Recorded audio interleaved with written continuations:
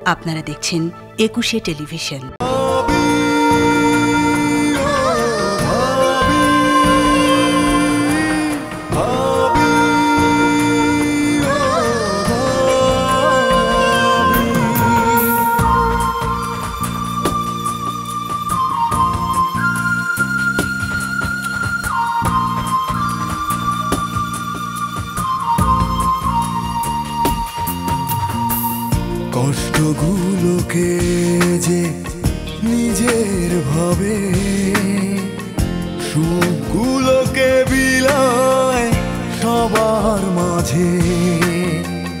বিপদে ঢেকে রাখে, স্নেহের চলে ভুলগুলো শুধরায় মধুর শাসনে। তোমার চলে থাক এ সংসারের চাবি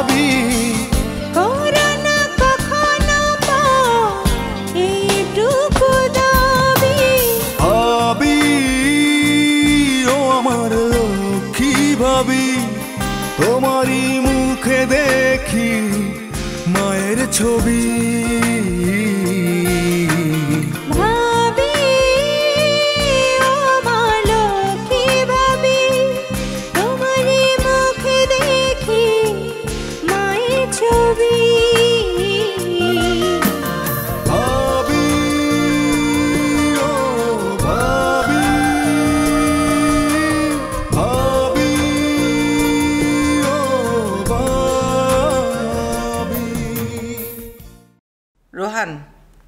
তুই একটা কথা স্পষ্ট শুনে রাখ। আমি যে সিদ্ধান্ত নিয়েছি সেটা আমি কিন্তু পাল্টাবো না। আনিকা তোমাকে ফোন করেছিল? তুমি আনিকার কথা বিশ্বাস করেছ?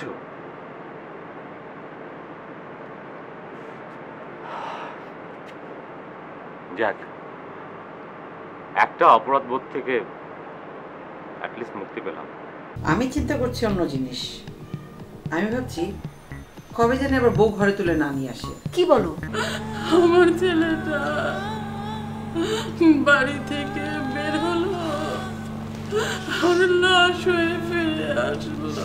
আচ্ছা ভাইয়া যদি ভাবির বাসা থেকে তোমাকে কেউ যেতে বলে তুমি যাবে? তুমি পড়ে গেলে আমার কি হবে? বুড়ো বয়সে একজন পুরুষের জন্য তার স্ত্রী হচ্ছে সবচেয়ে বড় সম্বল। সুসংবাদ? কি বাবা? আপু আর দুলা ভাইয়ের প্রবলেমটা সলভ হয়ে গেছে। তুই জানলি কি করে? আপুই ফোন করে জানিয়েছে। অসম্ভব। আমাদের বাড়ি থেকে কেউ ফোন করবে না। ভুল করলে তোমার ভাইয়া করেছে। আমরা তো কিছু করিনি। সরি তোমার এমন দাবি রাখা সম্ভব না রিফা। হ্যাঁ? ভাবি আর বড় ভাইজান আপনার ডাকতেছে। কেন? জানি না। ওরা কোথায়? সামনের রুমে বসে আছে। ঠিক আছে তুই যা আমি আসছি। আচ্ছা।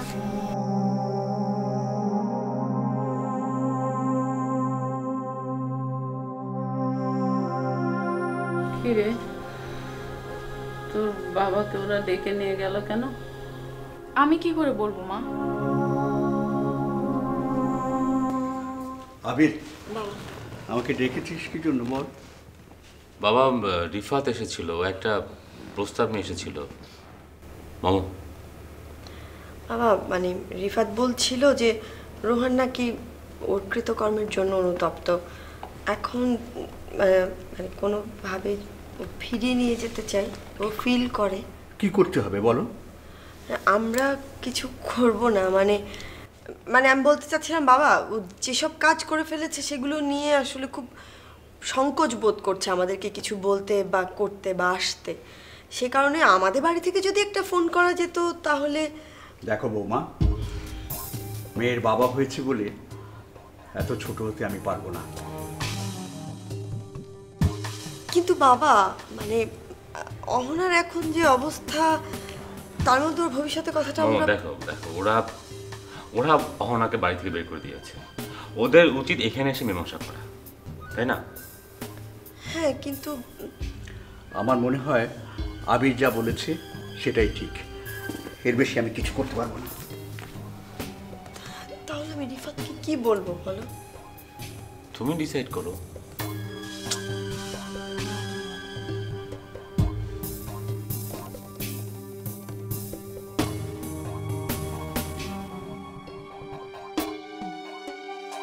একদিকে আমার সন্তান, অন্যদিকে আমার সম্মান, জেদ, আমার ঐতিহ্য। একদিকে অহনা, অন্যদিকে মা, বড় আপা। কি করব আমি? বাবা হিসেবে আমার কাছে আমার সম্মান, জেদ, আমার ঐতিহ্য বড়, নাকি আমার সন্তান বড়? বাড়ির একমাত্র ছেলে হিসেবে আমার স্ত্রী আমার কাছে বড়, নাকি আমার মা, বোন বড়?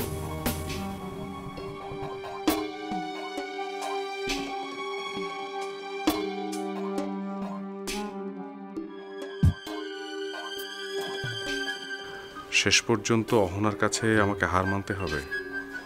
মমতা আহমেদ মমর অপমান আমাকে অসহায়ের মতন হজম করতে হবে। সব পারলেও মমতা আহমেদ মমর কাছে কখনোই হার মানতে পারব না আমি।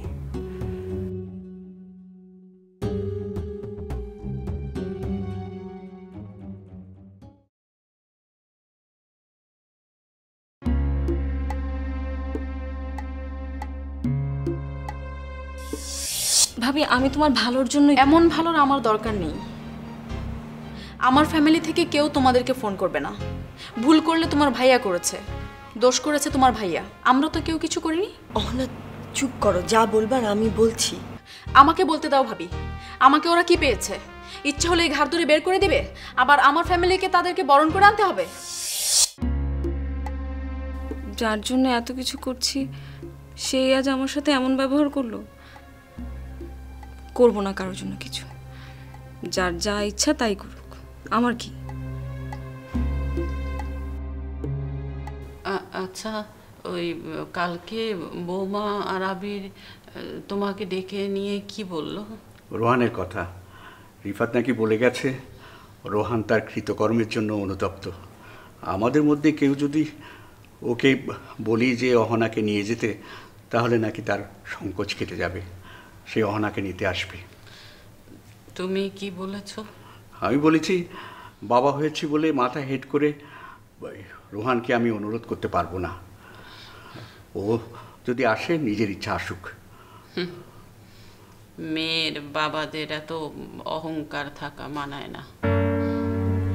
মা এখানে মানানো না মানানোর কি আছে? বাবা তো ঠিকই বলেছে। শোন সংসারের একটু সুখ শান্তির জন্য কারও কাছে নতি স্বীকার করলে তাতে মান সম্মান চলে যায় না বরং বাড়ে। এই যে আমি বৌমার সাথে অন্যায় করেছিলাম তাই তার কাছে ক্ষমা চেয়েছি। তাতে কি আমার জাত গিয়েছে? তুমি অন্যায় করেছ তুমি ক্ষমা চেয়েছো। রোহন অন্যায় করেছে রোহন এসে ক্ষমা চাক। বিজয়ীর মালা গলায় পড়লেই বিজয়ী হওয়া যায় না। অনেক সময় হেরে গিয়েও মানুষ বিজয়ী হয়। তাছাড়া যে মানুষ নিজের কৃতকর্মের জন্য অনুতপ্ত, যে বলছে যে কেউ একজন হাত বাড়িয়ে দিলে সেও হাত বাড়িয়ে দিবে, তাহলে, তার তো হার মানা হয়েই গেছে। মা, তুমি যতই যুক্তি দেখাও এ বাড়ি থেকে রোহনকে কেউ ফোন করবে না। ব্যাস।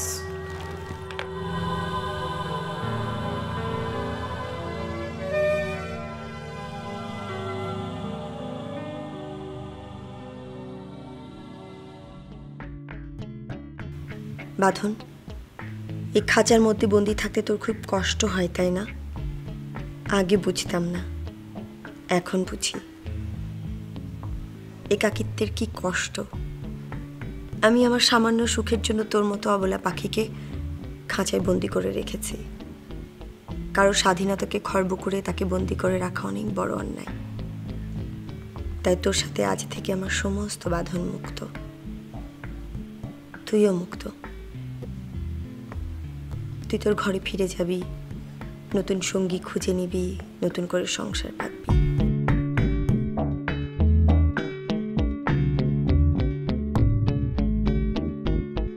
যা যা বাঁধন।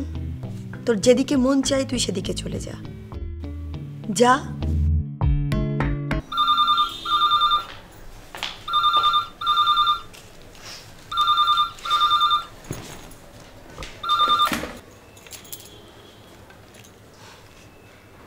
হ্যালো, কে বলছিলেন ও আপনি কালা পেতনি তোর কালাম মেলা অন্যায় আমি সহ্য করতেছি। খালি আমার বিয়ে ঠিক হয়েছে বলে আমি কিছু করতে পারতেছি নিয়ে তুই যদি এটা আমার দুর্বলতা মনে করিস তাহলে কলাম ভারী অন্যায় করতেছিস তুই। শোন তুই এই বাড়ি থেকে চলে যাবি দেখে তোর সব অন্য আমি সহ্য করে নিতাছি। না হইলি? না হলে কি? উ করবি না। তোর কইছিস যে যা কবি শুধু সাপটা করে কবি হ্যাঁ? ওনার মুখে যা শুনি তাই কয়ে ছাইয়ে দিচ্ছে আমার। কি আমার মুখ রে মধু জলে জলে সারাদিন পরে? তুই কি করতি আমার? কি করতি তুই আমার? ঠিক আছে। আমি অবশ্যই সুলাপিকে বুঝিয়ে বলব। কিন্তু আপনারাও মন খারাপ করবেন না। ও তো আমাদের এখানে ভালোই আছে। আমি সুলাপির সাথে কথা বলব। ঠিক আছে। নিজের মুখখানা কত বালা। তোর মুখের কত তো নিম পাতার মতো তিতা। কথা কান দিয়ে গেলে শরীরটা আমার গুলায় ওঠে।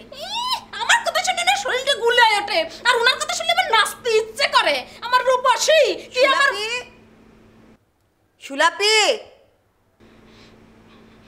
খালি আমারই সহি দেহে কালা পিতিতে সারাদিন বসে বসে খায় তার আর ডাকতে পারেন ডাহে খালি সুলাপি সুলাপি ভাবি বালা করে জানে কে শুয়া খায় আর কে কাম করে খায়। আমি শুয়ে খাই আমি শুয়ে খাই আর তুমি সারাদিন কাম করে খাও, আমার গা হাত পা টিপে টিপে আমার খাওয়াও না তুমি? তুমি আমার কাম করে গলাবাজি করলে তার এটা বদলে যাবে না নাকি?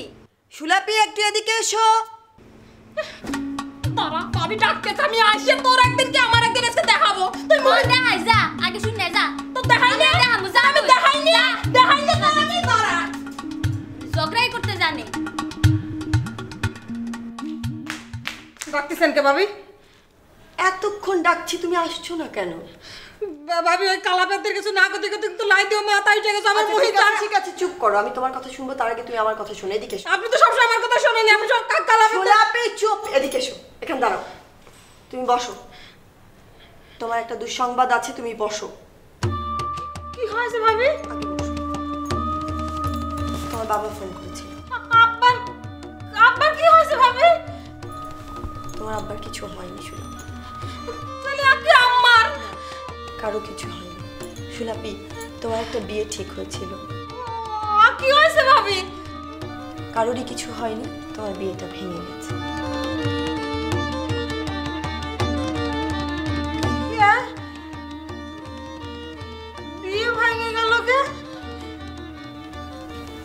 শোনো সুলাপি তুমি একদমই মন খারাপ করো না।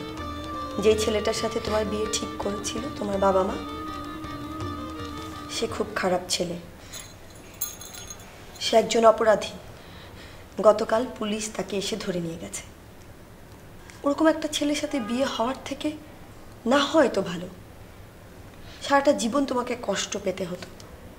তুমি মন খারাপ করো না সুলাপি। তুমি আমাদের এখানে আছো আমরা তোমাকে দেখে শুনে একটা ভালো বিয়ে দেবো। এতকাল পরে একজন বিয়ে ঠিক হলো সেটাও ভেঙে গেল। নিশ্চয়ই হবে কেন হবে না? আমরা তোমার বিয়ে দেব। একটা ভালো ছেলে দেখে তোমার বিয়ে দেবো। তুমি মন খারাপ করো না। চুপ। যাও ঘরে যাও।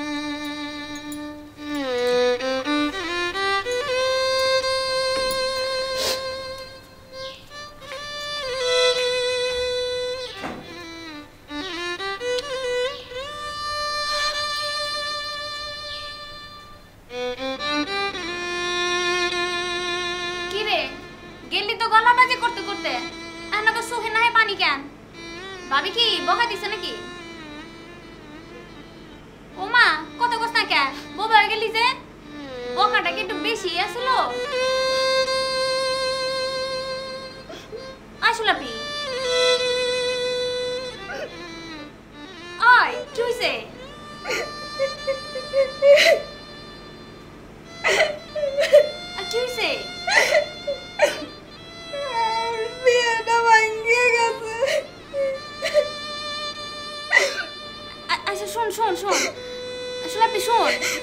বিয়া, জন্ম, মৃত্যু এগুলা না আমগো হাতে নাই, সব আল্লাহর হাতে, বুঝছস? আমগো না কিছুই করার নাই কা। মানুষের কিছুই করার থাকে না এইসব ব্যাপারে। আর আমাগো মতো অসহায় মানুষের তো আরও কিছু করার থাকে না। তুই কান্দিস না। একটা কথা কইছিল আপনি শুন। হাতের লোকে কখনো পায়ে ঠেলতে হয় না। রসিক ভাই, তোর অনেক ভালোবাসে। তুই হ্যার ব্যাপারটা একটু চিন্তা করে দেখিস। কান্দিস না। কান্দিস না সব ঠিক হয়ে যাব গা।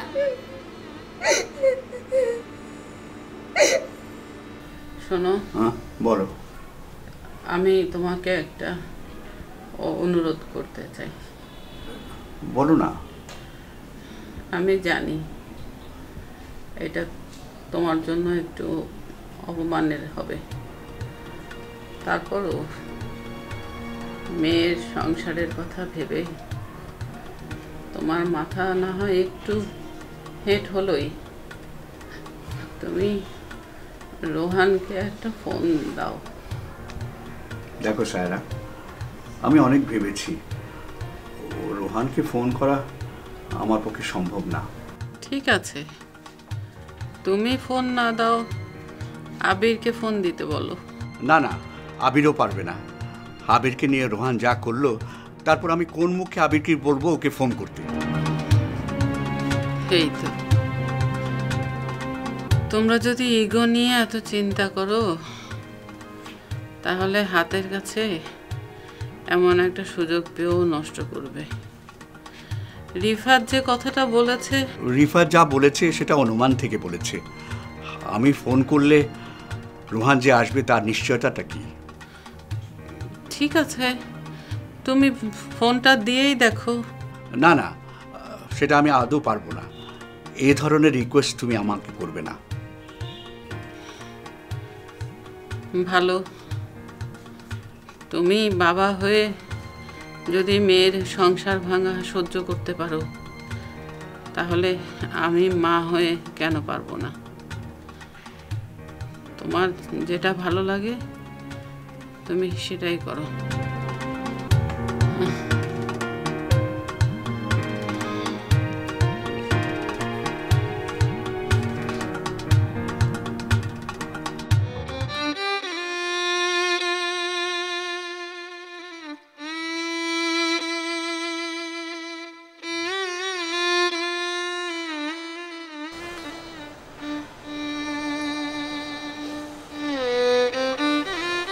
সুলাপি এই তুই কাঁদছিস কেন? হ্যাঁ? আরে কথার জবাব দিচ্ছিস না কি হয়েছে বলবি তো? আমার বিয়েটা ভাঙিয়ে গেছে আবার মানে? মানে আমার বিয়ে হবে না। আমি ঠিক বুঝতে পারছি না কি হয়েছে বল? আব্বা ফোন দিছিল। ওই যে শিক্ষিত চালের সাথে তোমার বিয়ে ঠিক হয়েছিল। সে নাকি সন্ত্রাসী তারা পুলিশে ধরিয়ে নিয়ে গেছে। তো এটা আগে জানতে পারেনি? কেম্বা করে জানবি জামাল তো দেখতে শুনতে ফাইন কেম্বা বুঝবি আব্বা। এখন আমার কি হবে আব্বা? আমি এতদিন কত স্বপ্ন দেখছি, আমার শিক্ষিত চাউরে চালের সাথে আমার বিয়ে ঠিক হবে, আমি চাউরের বউ হব। এখন আমার কিটা বিয়ে করবি? আমার স্বপ্ন সব ভাঙিয়ে গেল না। স্বপ্ন ভাঙার কথা তুই আমাকে বোঝাচ্ছিস, সুলাপি? তোর তো বিয়ের কথা হচ্ছে মাত্র। আর আমার তো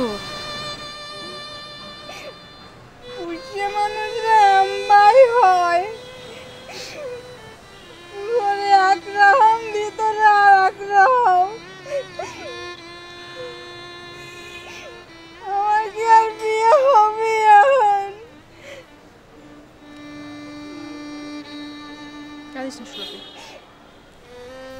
আবির তোকে একটা কথা বলি? কি কথা মা তোর বাবাকে আমি অনেকবার বলেছি। কিন্তু সে তার মান সম্মান নিয়ে ব্যস্ত। তুই তো তুই তো অহনার বড় ভাই। বোনের কথা চিন্তা করে, তুই না হয় রোহানকে একটা ফোন কর। একটা ফোনের জন্য যদি অহনার সংসারটা বাঁচে, তাহলে বাঁচুক। মা আমি আমি এই তোমার অনুরোধটা রাখতে পারছি না। আমি অহনের জন্য সব কিছু করতে পারি কিন্তু এটা পারব না। তোদের কি ধারণা? একটা ফোন দিলেই তোদের মান সম্মান নষ্ট হয়ে যাবে? আর যদি অহনার ডিভোর্স হয়ে যায় তাহলে সেটা কি অনেক বেশি গৌরবের হবে? না মা তা না। কিন্তু রোহান আমার সঙ্গে যে ব্যাপারটা করেছে, সেটা মনে করলে ফোন কত দূরের কথা। নাম শুনে আমার কেনা লাগে? ঠিক আছে। তাহলে তো তোকে আর জোর করা ঠিক হবে না।